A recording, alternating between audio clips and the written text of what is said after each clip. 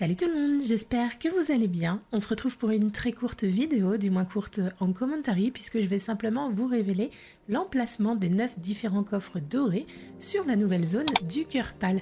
Alors certes, ils sont indiqués sur votre map, mais il est parfois un petit peu fastidieux d'en trouver certains qui sont cachés dans certains recoins, sur des arbres, dans des grottes.